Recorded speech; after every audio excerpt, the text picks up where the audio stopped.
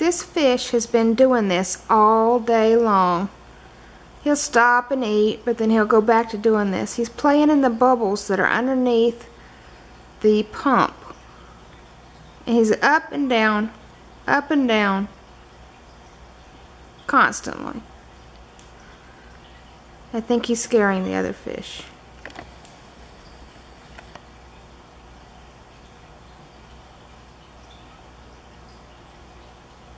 That, and I think he might have gone crazy. I'm not really sure.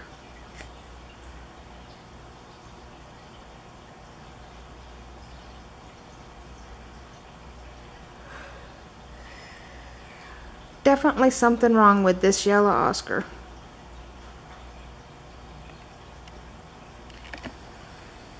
That or he's really playful.